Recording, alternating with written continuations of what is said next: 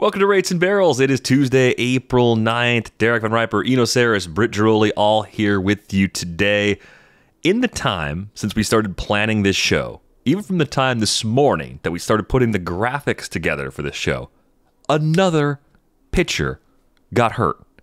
Or at least was revealed to have an elbow injury, right? That's that's what it's like. Pitchers, as we've learned over the years, they're hurt all the time. They're hurt at times we don't even know about. And it's reaching this point where someone has to figure this out, or a group of someone. It's not going to be an easy solution, right? This is the biggest problem in baseball. And we talked a little bit about the who, the more specific who from the weekend with Spencer Strider going down. Uh, you, you look at the way the injuries are piling up in the early part of the season every year. This is a massive problem. We can't even go a day without a new pitcher landing on the shelf with an elbow injury. This time it's Nick Pivetta. It's unreal. Like, where do we even begin when injuries are happening this fast? Well, guys, the problem I think is that it's not a MLB problem. It's a little league youth baseball problem that by the time it it permeates up, we're looking at fixing the symptoms and we're not looking at fixing the disease. Hmm. I, I think the problem is so many of these guys. Let's take Cade, Cade Cavalli with the Nationals, for example, top draft pick, has yet to pitch for the Nationals, has already had Tommy John surgery, right? And we know the biggest precursor to injury is have you been injured? So these guys coming up and getting Tommy John surgery at 15, 16, Cade Cavalli obviously a little bit older than that, but I think the problem is these year-round youth showcases. The fact that it used to be that you know if Eno was a really good pitcher, he, he was the best guy in his high school. He might have been the best guy on his little league team, high school team, whatever. Maybe he dabbled in travel. Now, if Eno's showing signs of being good in like fourth grade, Eno's on a special travel team that goes around the country. So Eno doesn't just see the best guys from his high school or from his area, his county not just the state. He's playing against guys from California and Texas and Florida. And these guys are throwing in the 90s already at the high school level. I mean, I had a, a, an executive tell me, you know, he's got a son who's playing high school um, and is also playing travel. If you're not throwing mid 90s, forget it. This is high school. So by the time these guys come up, they've got the wear and tear on their arms from throwing as hard as they can, as fast as they can with the spin, right? They're replicating everything going on at the big league level. And you know, it's like the tires on a car. They're they're getting all that tread and they're eventually going to break. So I don't know what I'm curious what you guys think. I don't know what baseball could do here to actually again mitigate the to they can mitigate the symptoms, but to treat the disease, I don't know if baseball can, can do anything. What do you guys think? Hmm. yeah, I'm pretty pessimistic, and I'm, I'm glad that you pointed out the velo because uh, you know I wrote today about all the different causes, and velo seems like the the the, the number one cause. And yeah, so you're not going to be able to tell pitchers throw softer, you know, uh, and you can't even tell kids throw softer. I mean, that's I have a kid in little league and I know he what do they talk about when they face a pitcher for the first time when they come back to the dugout? Oh, he's throwing hard. And they might be talking 75 80 because this is Palo Alto Little League. And I don't know if any of these, maybe one of these guys is going to go to Cooperstown for the Little League, uh, you know, All Stars or whatever. But like, you know, it's still a thing in baseball that and like people want to blame velo and I mean analysts and and and data and I get it. I guess velo is data and uh, analysts will tell you velocity is good but it is also something that's kind of ingrained in a player. you know, like the minute you stand on the mound, I think you understand I'm trying to throw this thing as hard as I can and get that guy out because it's going to help me get that guy out. And that's true for a 10 year old, it's true for a 30 year old, it's true for anybody that plays baseball. They know they have to throw the ball hard. And that's part, that's what you're doing on the mound, uh, at least in the modern game. So, if velocity is the problem, the only thing I think we can do and it, this is sort of building off your answer is try to put people in the right position to throw hard. And that requires uh, really good workload monitoring mechanics stuff like that. Um, and, and, workload monitoring is something that's now becoming a little bit more of a thing. You know The Cubs obviously are investing heavily in workload monitoring because they went and hired Mike Sonne who is the workload guy, and you know they are working hard on keeping their pitchers healthy. Well, do you think your little travel ball team or the Palo Alto Little League has like workload monitoring in the same way? I did see a tweet from Eric Cressey that was interesting that was like, just keep your pitchers below 100 innings pitched. Above 100 innings pitched is like a 350% increase in, in, in injury. Um, and that kind of stuff is happening at the minor league level. I can at the little league level. I can tell you that I'm a game changer dad. I'm the guy who's scoring the games and the the only reason we score the games as closely as we do is pitch count. If the game changer isn't working or there's something going on, there's somebody everywhere counting pitches at every level. Yeah. So we are trying to think about this, but workload is is different. Think about the best pitcher on the team. He throws 90. You know, he's he's an 11 year old, 12 year old throws 90 already, or throws 85. You know, and you're counting his pitches. You're that pitcher is going to pitch the next game. So whatever r- rule you have, he's going to pitch the max of it, right? Hmm. So if you say, "Oh, you can only pitch 50 and then you have to take 3 days off." That's like kind of a rule, right? Well, your best pitcher, the guy who throws 85 or something, is going to throw 50 pitches, take 3 days off and throw 50 pitches again. Because Yeah. everybody wants to win games. He's the best pitcher. I'm gonna put him out there. Um, so you know these rules that might work for a lot of kids may not be sufficient for the guys who throw the hardest. And so I, I I- you know, I don't know. I think year-round throwing is is okay because you you're you're like a weightlifter. Like you wouldn't you don't take like long periods of time off. Like you're always Yeah. doing something, right?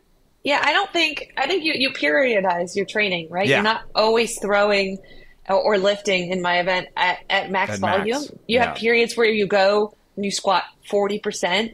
I Mm-hmm. know, and same thing. I think year round training is getting a bad rep here. I think again we're looking at these tiny little symptoms and we're not looking at the actual disease. And guys, the only thing, so I was thinking like, if MLB can't solve this problem, to me, the only thing they can do is how do you get guys to throw less hard?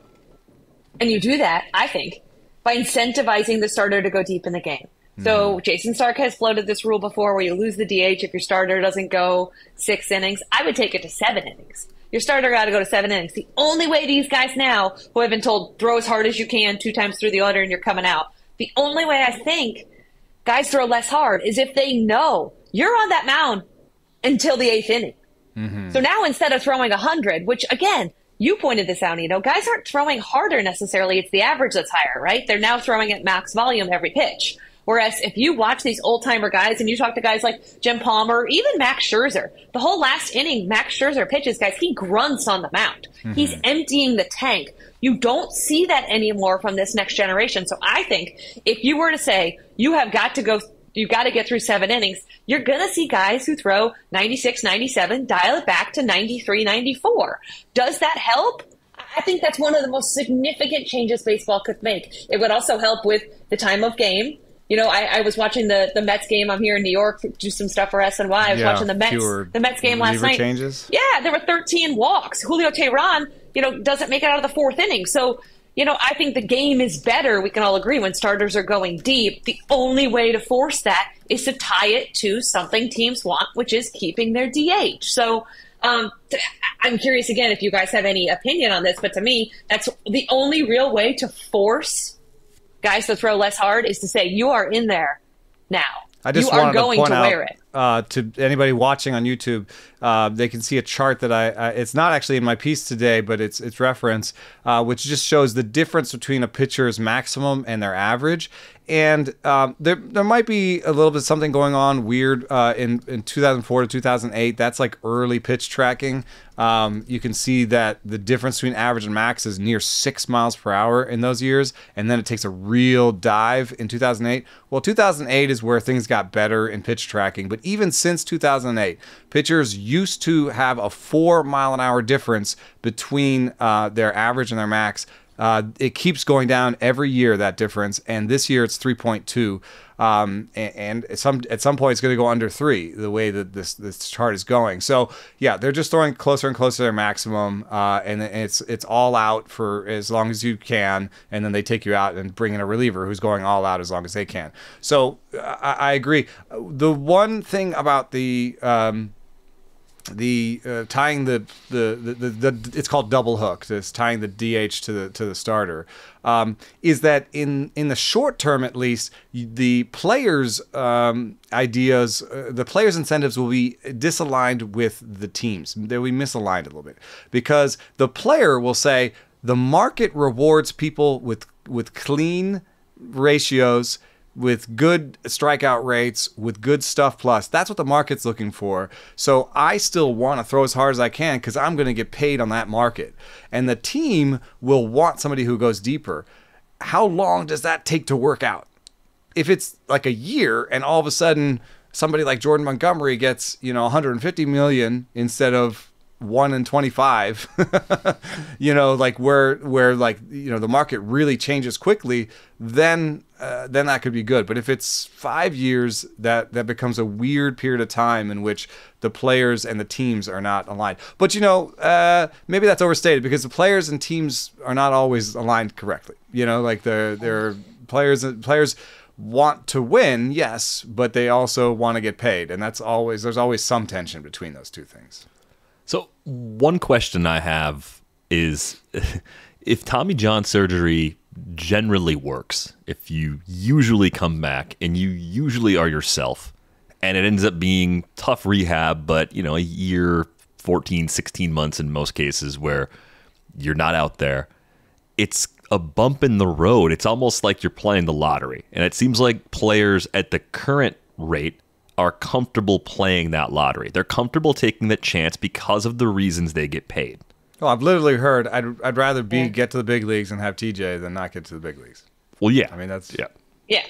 yeah. Also, and as Trevor told us, Trevor May told us on a Friday, he said, if you're going to have TJ, make sure you're in the big leagues when you, when get, you it. get it. You get better surgery if you break down as a big leaguer, which, yeah, I mean, I think to Britt's original point, I think where it begins is at the youth level. I think the the actual root causes are much much wider than that. I think the the, the quotes from Justin Verlander were really interesting. Ari Alexander is a reporter in Houston from uh, KPRC, and he got a really good clip from Verlander that's been making the rounds of the last 24 hours. And Verlander said, I think the game has changed a lot. It would be easiest to blame the pitch clock. In reality, everything has a little bit of influence. The biggest thing is the style of pitching has changed so much. Everyone is throwing as hard as they possibly can and spinning the ball as hard as they possibly can. It's a double edged sword. I don't have all the answers. When the ball started to change back in 2016 and started flying out, it changed how I had to approach pitching. I wanted to swing and miss. I don't know how we rewind the clock. The trickle down permeates all the way to Little League. I just hope we don't wait too long. It's a pandemic and it's going to take years to work itself out. The other part of what Verlander said, the second tweet, the ability to naturally throw hard is a large part of it. Everybody's built differently because he was asked about him and Aroldis Chapman being these guys that have stayed really healthy despite throwing hard. Aroldis' mechanics and my mechanics are vastly different, which, if you've watched these guys, they are very, very different in how they pitch. It's like the gait of a horse. You got to find your own gait. You got to find your own way to a baseball. If that naturally leads you to be able to naturally throw hard, great. If not, that leads you to an ends road. Wherever that is in your career, then you go find help, but not before. And he was saying, you know, you might find in college that your stuff's not good enough. At that point, you have to decide if you're going to push it as hard as you possibly can and and basically take that gamble. And if you're happy with where you are, right? And so is he kind of taking an argument against like going to a pitch lab or doing weighted balls as like a 10 year old or whatever? uh, yeah. yeah. I mean, I think I think he was saying throwing i think it, he didn't say this but I, I, wonder if you'd, you'd also get him to say well yeah throwing year round is good and not throwing at your max is a huge part of making that work yeah. right? Like yeah. health healthy arm care and finding it. But i think the bigger part of what he's saying is if you are pitching to tech right if you're getting in front of a machine mm. and adjusting for spin and making your arm do something your arm doesn't naturally want to do that might be putting the extra strain on you if your mechanics by natural design or just longer term repetitions don't portend spinning the ball that way. It's not that Yeah. spinning the ball itself is breaking you. It's that you are not training to get to that point. Maybe you're you're missing steps. Maybe there's some longer route to get to the point where you can spin the ball that way that will make it less of a problem. I think that actually has some weight to it. I think that's a little bit of an kind of an interesting way to think about it that I hadn't previously thought about. Yeah. Another interesting point is this spring I was in Tampa and Eric Cressey, um, you know, is the director of, you know, all of their, I guess, health and performance and all of that. And um, he had a call actually with MLB later in the day because MLB, as they have said in statements, is putting together this huge research study and they want to hear from all of these, you know, independent thinkers about how they can fix this. Um, and what's interesting is Eric brought up that, you know, Max Scherzer, when he wanted to add a pitch, it took him years to add a pitch, right? He made sure he built up that forearm, built up that area. And I think what we're seeing now is guys are, again, the rise of the pitching labs. Here's the, the step plan to add your velocity or to add this spin, right? And guys are just taking that or they're seeing stuff on social media and they're tinkering and they're not doing the proper things to build up the shoulder and the elbow and the ligament. And Dr. James Andrews, who pioneered Tommy John surgery, actually said recently that that ligament, that Tommy John ligament, is not fully developed until you're 26 years old. Yeah, So, I was surprised think- by that number. Yeah, so I think what we're seeing then is this like perfect storm of like we talked about guys in the youth, guys in high school spinning the ball, and you're talking about in some cases almost a decade before that ligament is even fully mature. No wonder it's blowing out at a ridiculous rate, right? So it's just this like combination of things. But I, I, I like work with these kids. I watch them like. So my kid was in a blowout recently, wrong side, um, and the other guys on the mound were just throwing knuckleballs and and and breaking balls and like just having fun out there. But one of the number one things that a kid does is like, did, was that nasty? Did that move? The, the Yeah. in catch or or wherever on the mound, they're trying to make the ball move. Um, and it's really hard to tell them not to do it. I've seen kids, I've seen the coach yell, "Hey, just fastballs out there, kid," you know, and then the kid goes, "Uh huh," and then three pitches later, I don't know. Did that Yeah. move? I don't know. You know, so like the like it's just I think the really hardest thing is that like when you're on the mound, you want to make the ball move, you want to throw the ball hard, Yeah. and it's you can't tell someone not to do that. So yeah, I think it's just that's that's when I get the most pessimistic about the problem. I was like, what? I, like I'm not going to tell my kid not to throw harder. You know, I'm, I'm not going to tell him not to move the pitch. I've tried to figure out things where it's like, okay, we work on fastball command for 50 pitches, and then you can throw 10 curveballs. You know, it's like try Yeah. to try to incentivize them to like you know work on it. But um, another thing is like just the lack of like lack of like cohesion across and i'm not suggesting that mlb should take over perfect game and mlb should take over little league and mlb should be the one thing that rules them all. Like i'm not suggesting that but maybe um, some sort of task force that that combines MLB's resources and abilities because think about it if MLB changed the way the mound looks or the way the the the, the field looks then you would see that trickle down all the way Yeah. down to high school and whatever you know so you know MLB obviously and because the the MLB pitchers are throwing as hard as they can or doing these pitches like yes that influences the kids so why not have some sort of task force that includes members of Perfect Game and includes members uh, of MLB, includes NCAA people, make it sort of like a national task force on injuries. Um, baseball's trying to do some of this. They they commissioned a, a, a group of people to look into it, um, and they're they're supposedly going to like you know say something about it. Um, but that doesn't include people from the places we're talking about. That doesn't necessarily include people from the travel ball or from Little League, and um, you know, so they're going to make their recommendations, and ho- and then we just hope that that filters down all the way to Palo Alto Little League. You know, Yeah. But doesn't that again support the argument that if we make it cool again for guys to go seven, eight innings, if we make that cooler than striking out ten guys in in four innings, that these little league kids will then be like, okay, bi- my favorite big leaguer is not throwing 100 anymore. He's throwing in the you know the mid 90s mm-hmm. because it's cool to pitch into the seventh inning. then the team keeps the DH or whatever. Like, don't you have to incentivize this because it will have that trickle down effect There- there is an interesting difference there uh, between little league and big leagues, which is in little league, command is maybe the most important thing. There's there are, nobody has command in little league, and it's Yeah. walk after walk after walk in most little league games. So you know, in fact, right now there is a little bit of an incentive to be to be the coolest pitcher. Like the best pitcher I've seen this year did throw hard, but he wasn't the hardest thrower. He threw strikes yeah. And he that's what that blowout was. He just threw strikes. He threw strikes over and over again at a pretty decent velo, and that was the end of it. I mean, it was bad. So Yeah. I'm just saying, like you know, there is little league already is sort of set up to reward people with command. It when they get to perfect game though, it almost doesn't matter what happens in results because it's all being tracked. So there's a little bit of a difference between little league and perfect game. Perfect game, you get to perfect game and you know you're playing for the scouts, you're playing in front of everybody. It's a little bit like, you know, what number, what best number can you put up there? What spin rate number, what velo number? That's when uh, things get a little bit different. You know, nobody cares about your command at perfect game. They care about your what you touched and what you what you sat at and what you spun.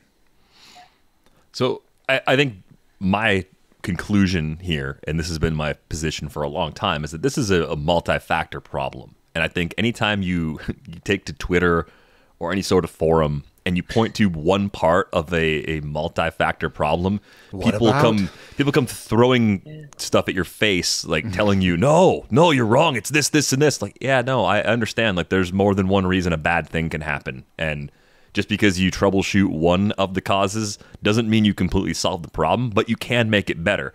And that's where my beef with the pitch clock comes in. Because there was research done by Mike Sonne. Again, this was written about just a couple years ago at Sports Business Journal. Both Sonne and his co author, Peter Keir, researched the effect of the pitch clock through a series of computer simulations and concluded that their study showed the implementation of the clock or enforcement of existing pace of play rules. The rules have been on the books, they just weren't enforcing it will increase fatigue accumulated in the forearm and elbow and could jeopardize joint stability. Like it's it's very it's very obvious how like working faster at that velo is going to cause more of a problem because you're sitting closer to your max and you're doing it faster. Imagine doing sprints at your Yeah. hardest but taking shorter breaks between. Imagine lifting closer to your max weight and taking less rest in between. All of those things would make you more likely to break. So taking the pitch clock, implementing it, having this rule, and then speeding it up, that that part is like the extra turn on the dial that really doesn't sit right with me. Having the pitch clock faster this year than it was last year, without taking the necessary time to look at a few seasons worth of major league data to see what happens to guys in these conditions.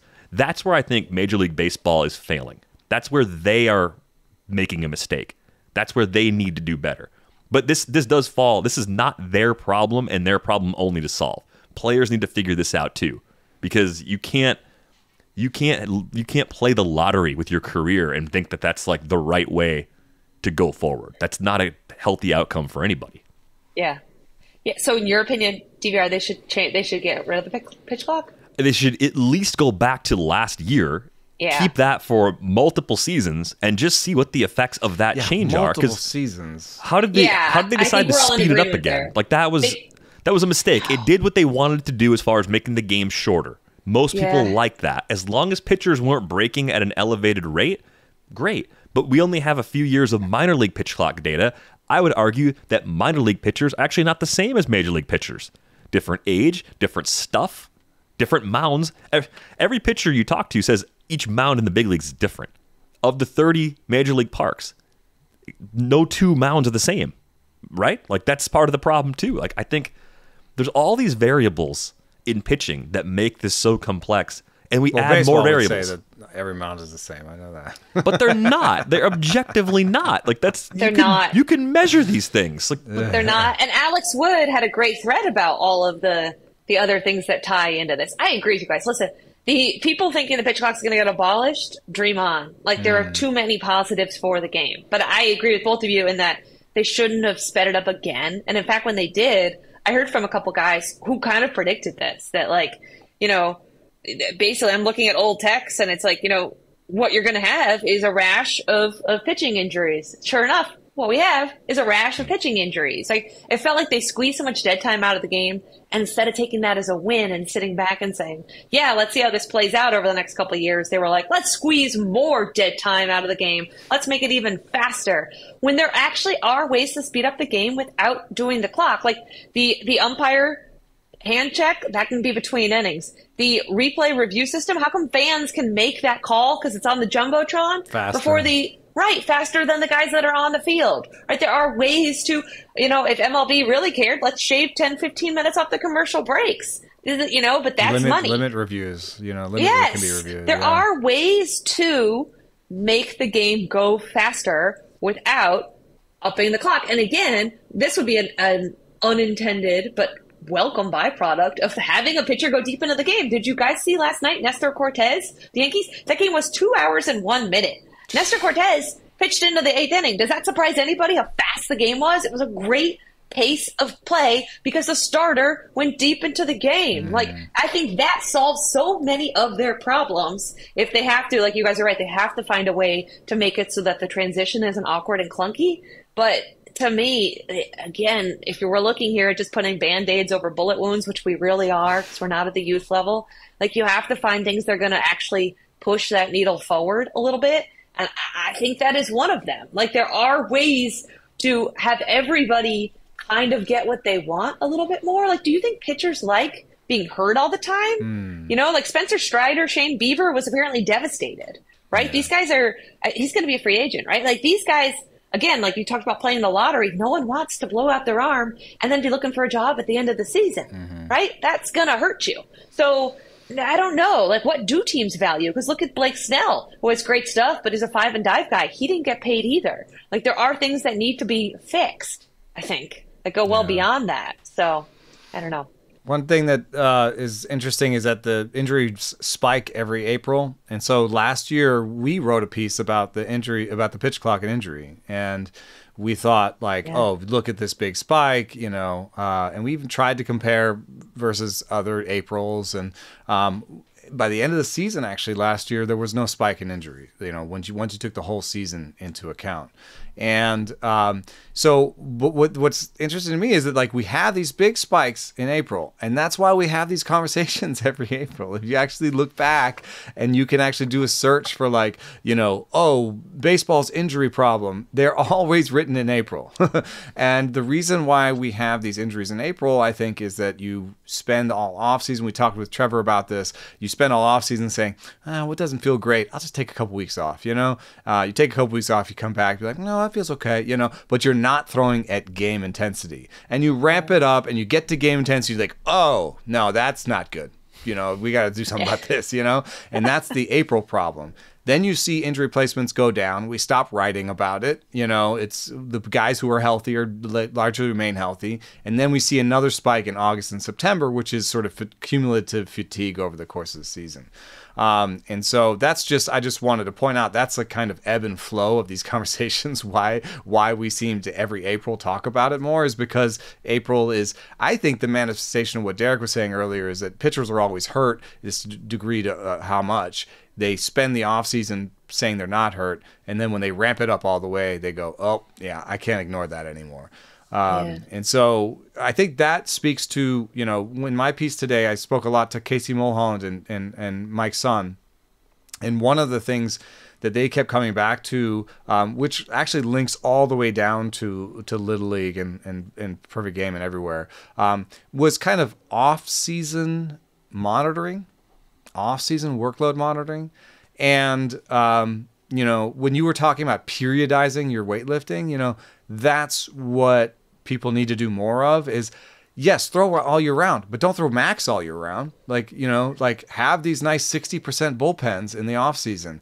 Take days off. Know what it means to throw 60% and how many days you need to take off after that. Know what that stressor level was. Know what you threw in that bullpen and what how much of stress that was. And and so no relationships. And that's like a little bit harder to broadcast to everybody than if he throws 50 pitches, he takes three days off because it has to be a little bit more like if he throws 50 pitches and he's throwing 80, you got to give him five days off.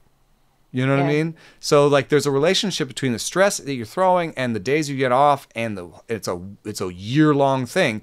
And I, I think one thing that's kind of scary to anybody who studies this and, and lets these pitchers go out into the wild every November and then welcomes them back in February being like, What did you do? oh, so you have a new pitch and three miles an hour velo Yeah. in February? Oh, good. But then we praise it, right? So we're part of the problem too. We're Yeah. like in spring training, like, oh my god, Oh, look who's got a new pitch? did. Oh, you got three miles an hour of velo? Yeah. Nice. yeah. No, it's it's like everyone deserves some blame. Nobody is exempt from the blame here. And if you're listening to this and you're a parent, your kid plays baseball, like I beg of you, all the experts agree, do not specialize. Do Hmm. not specialize. Have your kid play other sports. Have them do other things. They are still becoming better at baseball by playing other sports. They're actually Yeah. becoming less injury prone. I think that's a big part of it too. Like we talked about, like it's not just the perfect games; it's the fact that these guys are playing fall ball and spring ball, and, And they're like year round going at it. That's and actually, what what Cressey brought up, and what I thought was an excellent point, is that the youth circuit, the, the perfect game circuit, should have a dead period where you can't sign guys, where guys can't be, you know, you you can't sign No guys. Like, you can't go, showcases. No. Yes.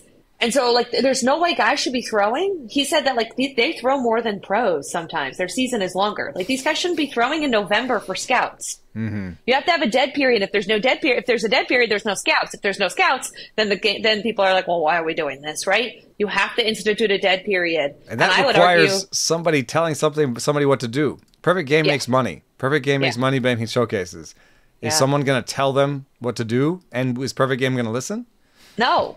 I mean, they could. I mean, MLB to me would be the only ones that could have the power to do that, maybe right? MLB should own Perfect Game. I mean, I, I don't want that to happen, but like Yeah. you know, No. like but maybe No. then MLB could just say no. We're going to turn it off. Uh, even if they don't, can't they say, "Listen, the spouts close. If you, we find a scout of yours at a team in November and December, That's you're gonna interesting. you, you're gonna you're gonna pay for it in the our amateur scouts draft." are not allowed to go to Yes. Perfect Game in December. or Oh, November so you just buy a scouting report from someone else that goes like, come on, You can't like buy this- the data. Perfect Game sells the you're numbers. Right. So you, Yeah. yeah. you're right. I don't know, but like you have you have to. I thought that was an interesting idea and one I hadn't heard. No, but like, yeah, yeah. The one thing about doing the different sports is if you're playing actual baseball year round, it's not the same as throwing year round. Throwing year round, you can, like we said, periodize it up and down. Yeah. You can you can play with it. But if you're playing year round, that's max. You are throwing your hardest. You are hitting your hardest. You are doing everything your hardest because you're playing. You're trying to win. So yeah, Yeah. playing year round is a little different than uh, than throwing year round. Um, and yeah, and and I it, like you hear uh, Joe Ryan talks about you know being a water polo player. Uh, Lucas Giolito talks about being doing gymnastics. Like you know, a lot of these uh, pros did other sports and uh, and are kind of amazing at it. You'll see, you know, some of the Latin players will just start juggling a, a baseball with Yeah. their like, their feet like a soccer ball, and you're like, wow. like, uh, Yeah. And so, like, you know, there's different, I would say, I agree. Yeah. Like, play different sports because you're just working out your body in different ways. You're, you're maxing, but you're maxing a different part of your body and, uh, and you're just becoming more athletic all year round. I asked, um, you know, one of the driveline guys who works with youth, what should I do with my kid, you know, to make him better? And he goes, play everything Yeah, just play just play everything do jump throws do you know do basketball do whatever do mm-hmm. do whatever they want to do throw run a mile you know, like just make them Yes. more of an athlete and you know that's the best thing you can do because it's more well-rounded I totally agree. Gymnastics is underrated, by the way, especially like for little boys. My son's one and a half, and he's going to be in gymnastics by like three. The body awareness, the core, the way, like, it's just so translatable to everything you do. In no sport are they like, oh, you have too much core and trunk, trunk strength, right? Yeah, that's right. Like, in no sport is that not helpful. So, Right. like, I don't know. I think, again, if you're listening to this and your kid, even in high school, like, I played three sports. I swam at Michigan State. I was a collegiate athlete, and they're Division One, so you know I wasn't an Olympian, but it, was nothing, you know, pretty good. Um, we we were not allowed to specialize in my house. You had to play a different sport every season. And when I went to college, was the first time all these other kids that I was now in college with had done like two a days and like had been swimming year round for quite some time. Um, and I never had any kind of injuries, like with my shoulders is pretty common in swimming. And I think a lot of that was because I did softball, and obviously pitching for softball is a lot better than pitching in baseball. And that was my spring sport. We did taekwondo uh, in the summers. Like swimming was a fall sport, and that was it. like in my house. You did not. You went to another sport from there. It was only in college that it was like, okay, pick your one thing that you're going to want to do. So I, I, I, it's scary to me when these kids are like eight years old and these parents are like, that's it. Little Jimmy's the best kid on his little league team. We have to put him in the showcase leagues now. And now he's in a travel team. We're going somewhere every week. Like, It's- but it's there's a a- little alarming. There's a silly thing though. All of the sports are bleeding into other times. So uh, there's a there's a kid down our street who's on my kid's little league team, and he plays basketball and track. Right. Uh, I think right now, or like a week or two ago, he was doing all 3 at mm-hmm. one time. Oh yeah, everything's longer now. Every season's Because longer because it's it, like this if you're not working, creep. someone else is. That's I had coaches that would tell me that. If you're not at every practice, sport's someone trying else to be is. like, no, we we take this athlete. No, he's oh he's great. He's ours. You know, so he's he can play basketball eight months a year if he wants. I think people overestimate their own ceiling by miles. Oh my god, that when is they a are little league problem. In oh that, yeah, little in that Jimmy's age going pro. Yep. Yeah. Yeah. I just looked Yeah. something up while we were, were talking here because it it struck me. It was one of those random thoughts. I think I was out walking the dog, and I thought, you know, everyone keeps talking about how pitchers today are just throwers. They're just throwers. They're not pitchers. And I think that's a sweeping generalization, and I think it's bull crap. I think it is unfair to the amount of work people put in. I think they put more work into the craft now than ever. It doesn't mean there weren't guys in the past that didn't care as much or didn't work as hard. And everyone, the, the old crowd's like, Greg Maddux, DVR. Yeah, I know. I love Greg Maddux. I grew up watching Greg him. Maddux threw 93, 94. Everyone, somebody was in my comments today being like, "You never cracked 90." I'm like, Shh, He, he threw true. pretty hard. Yeah. Yeah. It- we talked about the the one funny thing about Maddux though is that we assume coming out of high school that dude wasn't throwing very hard because he wasn't big, right? He was probably throwing 85 in high school, and that was hmm, Probably helped his health. probably helped his health, right? Like I, I would, we should actually get an answer on that. I think we have the resources to do it. So what I was looking up, I was looking up strikeout rates from starting pitchers from 1970 to 1990. Anybody that hmm. Fangraphs flagged as a starter, there were 14 starting pitchers in that 20 year span with a strikeout rate of 20% or higher. I can literally name them, and people are going to go, these are the best pitchers of that era. Nolan Ryan, Roger Clemens, Sid Fernandez, Dwight Gooden, J.R. Richard, David Cone, Ramon Martinez, Bobby Witt, Mark Langston, Jose De Leon, Sam McDowell, Erik Hanson, Mario Soto, Jose Rijo. Not all the best pitchers, but a lot of people that are remembered from that era. 14, right? If you look at the last 20 years, this year going back to 2004, there are 200 starting pitchers that have 20% strikeout rates. I am not going to list them all. That's how much strikeouts have changed from baseball some people watched growing up to what we have today. The game has changed so much from But the why era blame of the analysts? 'Cause- It, wouldn't you want to be? uh, Yes, the money and Roger Clemens. Like, oh, Roger Clemens struck everybody out. I want to be like Roger. like Pedro Right. Martinez. What was good about Pedro Martinez? Well, he struck everybody out. Oh, maybe I should strike people out. Like it. Like I don't. I just the analysts blaming the Yeah. analysts. I don't know. It's like it's pretty obvious. Yes, it's You always been like that. You But- see your teammate pitching well, doing something, you're going to try to do it too. And Yes. watch someone on TV. Oh, yeah, missing bats. That works. Can't get a hit. Can't get a hit if But you we've strike we've out. pushed we've pushed out the guys who don't throw hard though, which the uh, the previous iterations of the game didn't. What happened? I was just having this discussion last night uh, in the studio. What happened to the side armors? They just get We don't have any anymore. They just what get happened to the crafty so lefties? hard. I, I think Right. We don't if- see those guys anymore. No, But- because if you were doing that, let's say you let's say you're a side armor through high school. There's the three pitch, the three batter rule. to Help Well, some of take that some too. of the lefties out. yeah, that's true. But you, you take just let's say you have funky mechanics and it works. It gets you through high school ball. You're the best pitcher in your area. Where are you going to go play next level where that's going to work? Like every level you go up is a massive leap.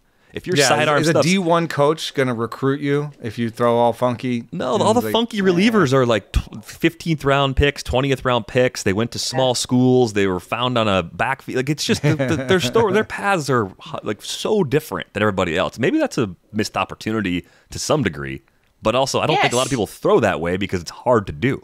I Even, even if it's better for your but arm, I it's want to bring them hard to do. back. It would be great if you had like again the high throwers aren't going away in the bullpen, but like it'd be nice to have like imagine how difficult it would be, and this was why they were good, right? It's because they throw like eighty two, and guys couldn't slow down.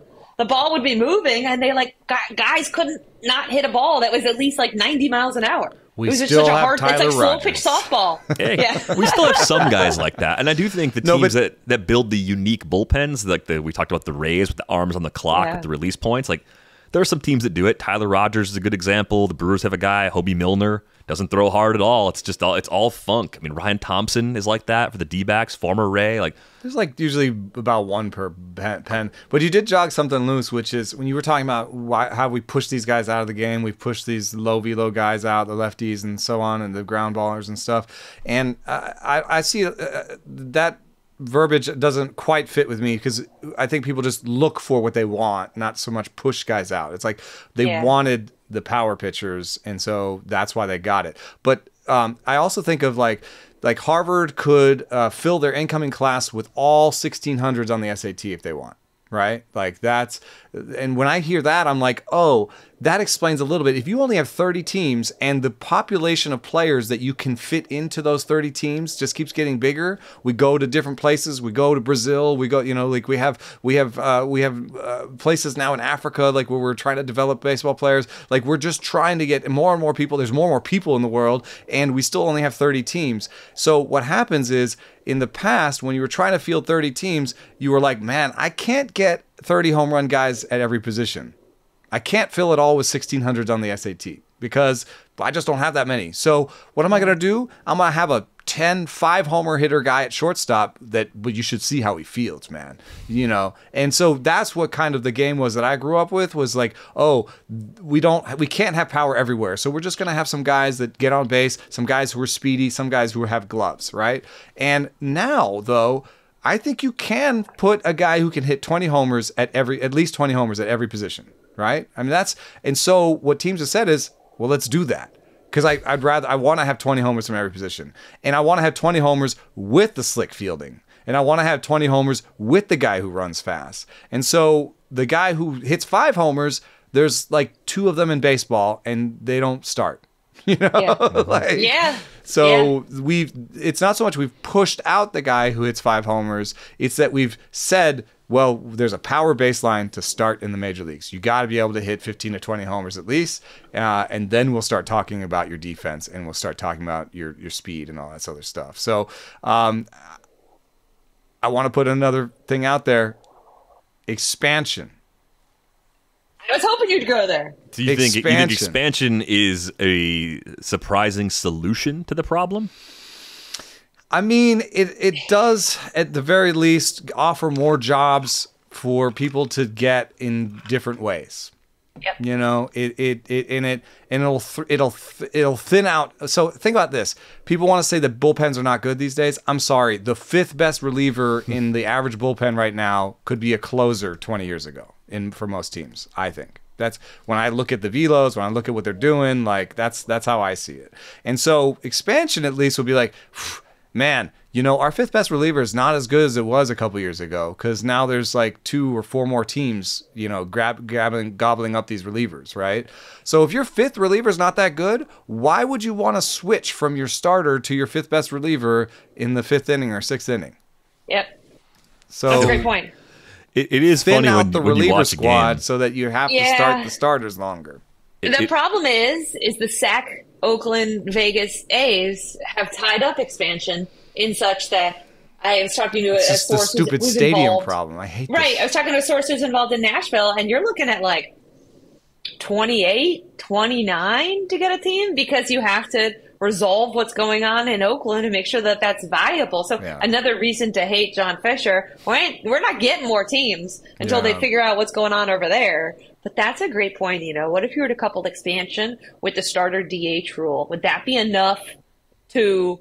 Again, you're never going to go back in time, but would that be enough to at least make it that we're not seeing a, a new pitcher, yeah, drop every game? I think that's my plan. If I'm if I'm the commissioner, it's expansion plus uh, the double hook uh, plus.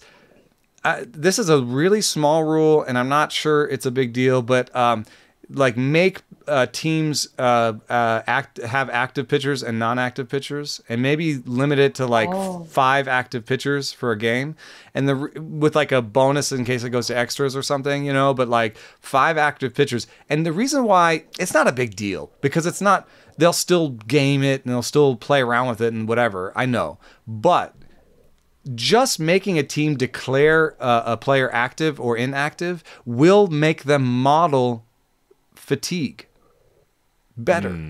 like Yeah. to figure out who's healthy and ready to go. Yeah, We have to that's decide a, who's- That's a great point. we have to decide who's going to pitch tonight. How do we do it? The old school teams will still be like, "Mm, so how do you feel, dude? Oh, you feel good? You're in, you know? but like Yeah. most teams over time we'll start to be like, ooh, okay, who's optimal tonight? Who's really green light tonight? Because we have to choose five of you guys, and that's it.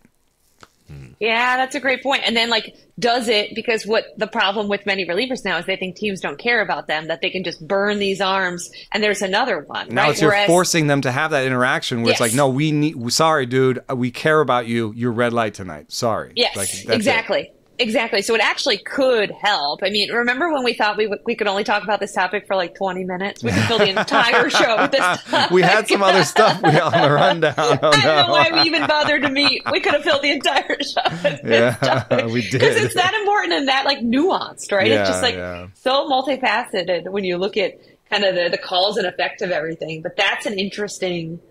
I like that rule of the active and non-active, you know. And again, maybe we get to the point where you're starting to value guys who don't throw quite as hard, but guys who are have those rubber arms, Mm-hmm. right? Guy, there are certain guys who can pitch three days in a row and have minimal soreness. Probably because they're Um, not throwing 99. Right. So there are things MLB can do to tweak it, but we all agree that like they can't actually fix what's going on. Yeah. I, I mean, throwing hard is good. Since we planned a few other topics, we're going to do a couple buy sell holds. We're not going to do as many as we planned for today. But I think we should give the Pittsburgh Pirates uh, a bit of the airtime today. They are 9 and 2. They're off to a fast start again.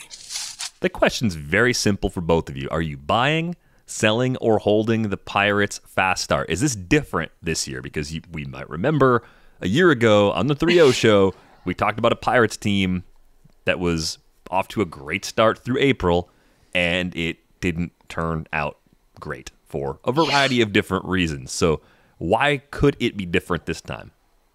Yeah, I am holding. I remember doing a story because I was suckered in hook, line, and sinker by those Pirates last year. I remember talking to GM Ben Cherington and him saying like, "It's only April," and me being hmm. like, "Yeah, yeah, yeah," and still writing this story about how the Pirates were headed in the right direction. And then we all know how that turned out. I, I, do think it's always better to win than to lose out of the gate. But the question to me is, it, do the Pirates have enough? They're certainly in a winnable division, but do they have enough to withstand kind of that? What happened last year was all of a sudden it was like, oh, some people were playing above their skis. Obviously, you know, losing Oneil Cruz, like, I- I think when you look at the Pirates, um, they have, I want to believe that this is for real, but it's like a relationship. I've been burned before, so I'm going to sit back wait till June or so and see what we have. But I hope they do, guys. I mean, I don't know. Have you both been to Pittsburgh? You both been to that park? Yeah, beautiful park. I mean, beautiful park. The fan base is just absolutely, and this is probably why they got so much attention last year and why people like myself wrote about it. Like, it was like, wow, about time. like, the, the, is there a more maligned fan base outside of Oakland, who I know has separate issues? But like, all the Pirates like fans want is like the tiniest glimmer of hope, and they will fill that ballpark and they will come roaring back, right? Um, and I think they've done some positive things, signing Mitch Keller. Like they they have kind of given fans a little bit of a reason for optimism. But I'm curious because I'm sure Eno dug into like the advanced stats when it comes to this team. I'm curious, like, should I be hopeful, Eno, or not?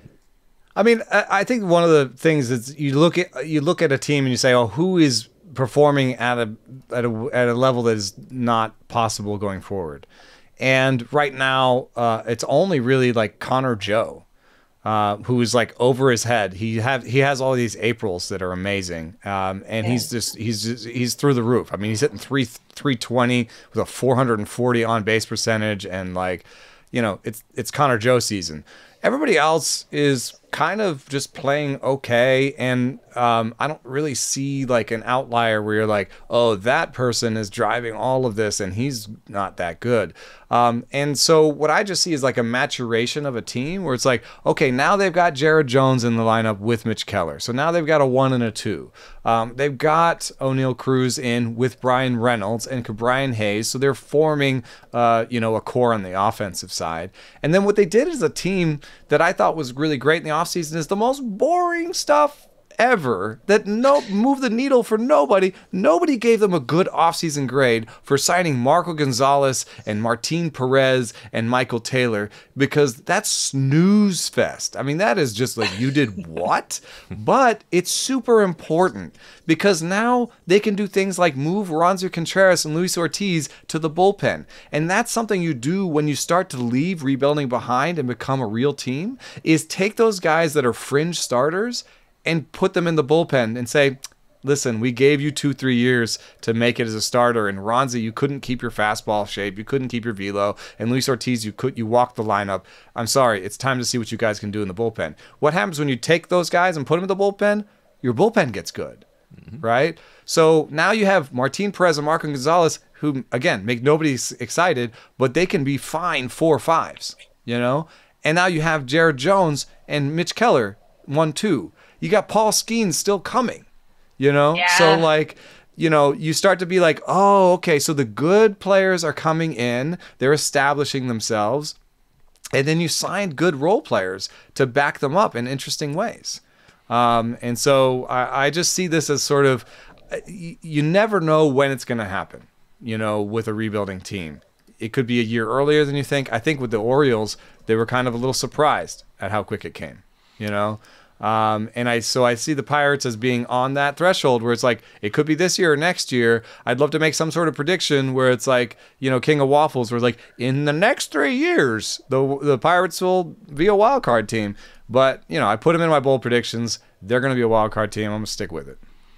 So you're buying? Yeah. He's full out buying. Britt's holding. I'm yeah. holding, but not with the pessimism of Brit because I do think the two players that completely change, like so I'm holding relative to my original take on the Pirates. I think they are a team on the rise. I think this is a big step in the right direction.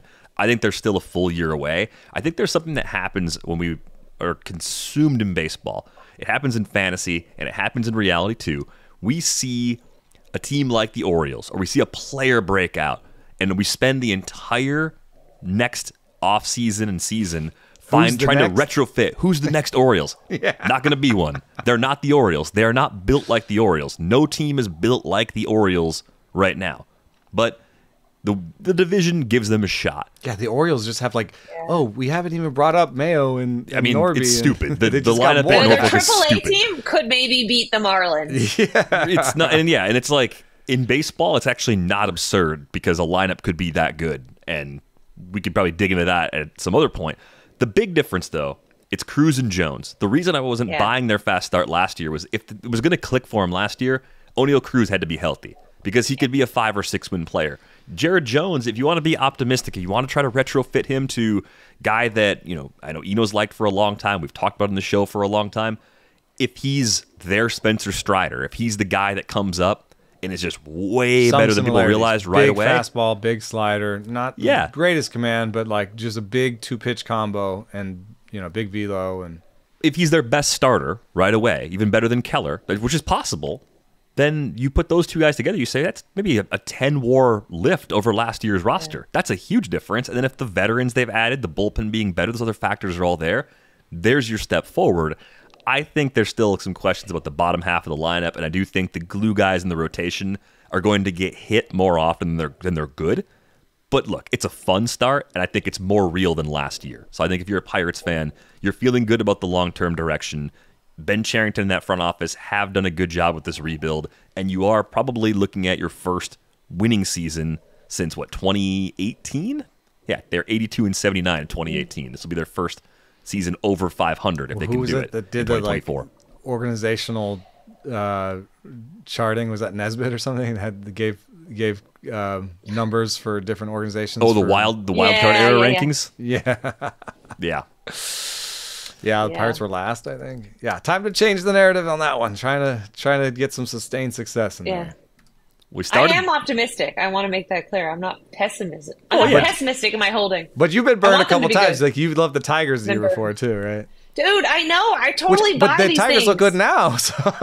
I know, but now I'm like, you know what? I gotta wait for you too. Yeah, Call me in June. we'll talk about the Tigers probably in a week or so, but I I like what they're doing in Detroit right now. On the flip side, as great as this Pirate start has been, the Marlins start has just been brutal. They fell to 1 and 10 after dropping another game on Monday. Part of the reason that game, that Nestor Cortes start, was like two hours and one minute long is because this Marlins lineup is brutal right now. Yeah. And you can look at it and say it's not that different than what they had at the end of last season. They basically lost Jorge Soler and didn't replace him with another power bat. They brought in Tim Anderson as a middle infield boost that they needed, but yikes. I mean, this is a team that lost a big part of its strength. It started to happen last year when Sandy Alcantara got hurt. It's gotten worse with the Eury Perez injury. The thing that made the Marlins dangerous a year ago, the thing that made me say, foot on the gas, go for it with what you have, was having those guys healthy. Now they're in this position where their position player core is not good enough. They're short on top end pitching, and they probably have to make some moves looking to their next window while those guys rehab. Yeah, I'm buying. I think they're going to be horrible. I don't think there's a whole lot of reprieve in sight based on look, they're not an ownership group that's going to be like, this is unacceptable. They're hmm. just not. I think losing Kim Ng and after the season they had was a total like balloon deflator. Uh, Peter Bendix, who you know does terrific work, was under Erik Neander in Tampa Bay, is now tasked with kind of rebuilding a front office and an organization, and that's going to take time. So I think we're going to be in for a rough season. I mean, so much so that Skip Schumaker, did you guys see this? Asked the Marlins to void his contract option for next year. So No, I didn't see Skip that. Schumaker, yeah, yeah, yeah. So Skip Schumaker, seeing the I'd writing heard on the wall, I'd heard some things I hadn't reported, but the, Yeah. okay, so now it's out there. yeah, so he wants, so obviously he wants out, or he wants the ability to test the free agent market. So well, apparently if- his kid is like uh, we were speaking about like perfect game and stuff. Apparently his kid is a stud. So that should tell you something as well. If the manager says, you know what, I don't want you guys to have an option over me next year, right? Because as we know, it's such a, you, you got to get off. It looks like it's a ship, sinking ship. So like I am buying the Marlins as being a doormat. I don't think it, you know, obviously they're probably headed for last place, but I, I, I look at this team and you're right, the Eury Perez injury sucked. And I think he- they had so many things had to go right for them last year to be a playoff team, right? So many things, and I know Kim Ng did a great job at the trade deadline and adding what they needed, but there were so many things that had to break their way that a lot of it had to do with luck. And now I think what you're seeing is the injuries plus the fact that this team just was kind of thin. Like they are where they are. They're not spending in free agency. Did they end up signing one big league free agent? They had gone for months and months without signing one. Did they end up signing one? Tim Anderson. You guys know? Oh, that's right. And and Tim Um, Anderson said no first. How how do you argue the opposite? I, I don't know how you can.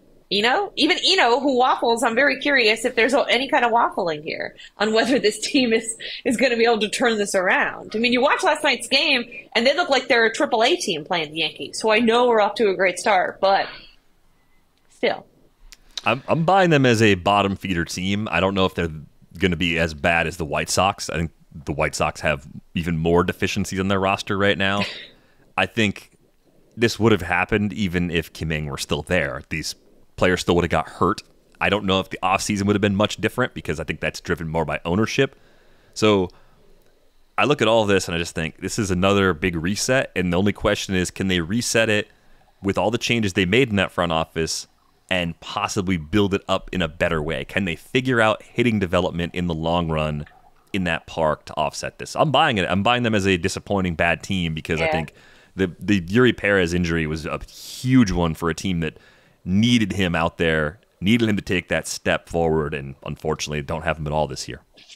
I think the park is an underrated thing. I know that, you know, different park factors do not have them necessarily as uh, that terrible of a place uh, to play baseball. Like StatCast says the overall run factor uh, for the Marlins is 13th, so basically average. Um, but if you get all the way over to the home run park factor, uh, they're bottom five, uh, bottom five place to play to hit home runs, and the game's about home runs. So I think that's what Kim Ng was like responding to when she said we need to make more contact and went and traded for Luis Arraez. Was like, okay, this is a decent park for offense if you don't go for homers. Um, but the game is so you know slated towards homers that it's uh, it's a little bit of a like can we just can we do what normal teams do um, in this park or do we have to be really weird um, hopefully uh, Pete Bendix. I think you know. I think the Rays have done things that have been sort of designed to to win in Tampa, because uh, Tampa itself has a has a weird stadium. So maybe he's Yeah. like ready to do that. Um, but it also is like, how do you do that on a developmental level? Do you say we need to make? Are we going to be Cleveland and we're going to say we need to make contact at all costs? Don't worry about the power. Then you cut, shoot yourself in the foot a little bit because then you could have guys that could hit for power, but you're telling them no, go the other way, be, hit the ball soft, make contact. When you could develop somebody that could hit that could hit tons of tanks, you know. So you you kind of don't want to tell everybody, hey, everybody, it's all about contact. Everybody in the minor leagues, don't worry about the power. That's weird. So um, so it, it- he's in a stuff in a, in a, in a tough spot. Um, but um, one thing we do know that is it's like a little bit easier to grow up as a pitcher there because I think of the home run power factor. If if you if park factor, if you make a mistake, it's not necessarily going to be a homer. It could be a double, but it won't be a homer. Homers changed the game, you know. Um, so they've been really good at turning out pitchers, and if they can just continue to do that and just continue to trade the right pitchers and keep their pitchers healthy, there's there's going to be a way for the Marlins to succeed. I'm just I don't see it right now. I don't see it right now because the hitters that go there they can't hit for power. Um, you know, Luis Arraez is not enough. They right now have two maybe three average hitters, average position players, and they have one healthy average starting pitcher. Right. And they don't have a lot of prospects coming up to help anytime soon. That's the major area of long term need. That's why when we talked about the teams that are in the most difficult position for the next five years, the Marlins made that cut.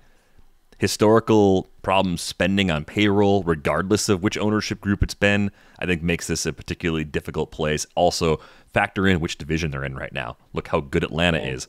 The Mets are going to get a lot better over the next few years. The Phillies are already good. The Nationals have a head start in terms of young talent. So that's why I feel like they're they're sinking to the bottom fast. Their and best to take them prospects some time are to all get out. pitchers. right, right, and and they've had to make trades in the past, flipping pitchers to get young position players. They may have to do that a couple more times. It's safer. It's a lot safer to try to build around position players than to build around pitching. So I think that front office is going to be very active in these next few months, and for good reason because it's time to retool already in Miami. Yeah, the, the the rumor was, uh, and there's some of it in the um, Dennis Lin uh, piece with Ken Rosenthal about the Padres and the Preller interacting with the Marlins, and and you know possibly there being some smoke around a Luis Arraez to the Padres kind of a deal, um, but um, the the the sort of conversation in, in Miami is like, do we trade for a pitcher and try to salvage the season? I, I would think that you're already got one foot in the rebuild bucket. This is a little bit more like the White Sox conversation we had, which is like, why play Robbie Grossman? Why play Josh Bell? If somebody wants Josh Bell for for almost free, you know, give me a, a 17 year old in in rookie ball. I don't care. Like you know, like we treat also the division being good as maybe giving you a little bit of runway and being like, hey, uh, Pete, call the owner, say, you got to give me three years. Give me three years. In three years, we're going to start uh, seeing some good news. Yeah, I I think that's what they're going to do. I mean, I think they they've changed a lot of things there. I'm surprised they didn't keep Kim. Disappointed how that whole thing unfolded, but at least the way they're trying to build it now, it's another it's another way it can work. I think it could have worked fine with Kim if they just promoted her and let her make the moves that she wanted to make. We are going to go. Uh, on our way out the door, a reminder, get a subscription to The Athletic, theathletic.com slash rates and barrels. On Twitter, you can find Britt at Britt underscore Ghroli. Find Eno at Eno Sarris. Find me at Derek Van Riper. Be sure to check out Britt's A1 on Juan Soto, tracking his progression from being a fresh-faced kid when he got called up with the Nats to the time he spent in San Diego to he's already been a superstar, but now he's kind of hitting that next level during his first few weeks as a member of the Yankees. So be sure to check out that story. That's going to do it for this episode of Rates and Barrels. We're back with you on Thursday. Thanks for listening.